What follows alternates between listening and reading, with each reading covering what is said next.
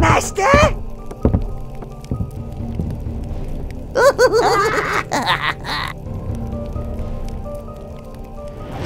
we see. Stop pushing.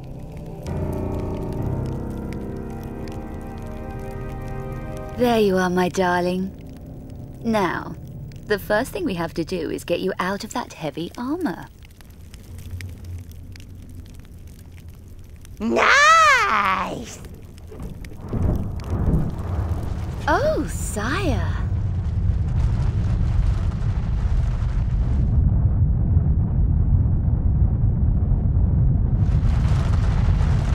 Well, that was a surprise. I think you're undercompensating, Master. Ah,